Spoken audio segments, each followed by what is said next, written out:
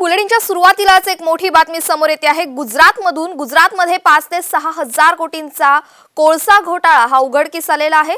Coal इंडियाच्या खाणीमधून काढलेला कोळसा ज्या उद्योगापर्यंत पोहोचवायचा होता तो तिथपर्यंत गेलाच नाही. तब्बल साठ लाख टन कोळसा रस्त्यातूनच गायब करण्यात आल्याचं धक्कादायक वास्तव समोर आलंय. या भ्रष्टाचारात गुजरात सरकारमधील अनेक अधिकारी आणि बोगस एजन्सींचा समावेश असल्याचं देखील समोर आले गेल्या चौदा वर्षांपासून हा घोटाळा सुरू असताना आतापर्यंत कोणाच्याही लक्षात आलेलं नाही.